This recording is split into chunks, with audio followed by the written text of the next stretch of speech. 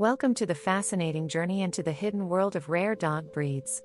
In the vast universe of pet ownership, unique breeds are often overlooked.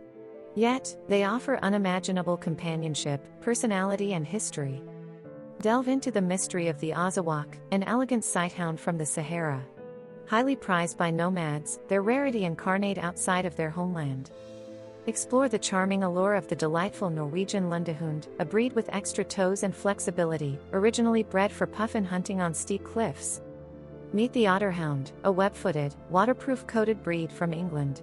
Despite their friendly demeanor, they're one of the rarest breeds worldwide.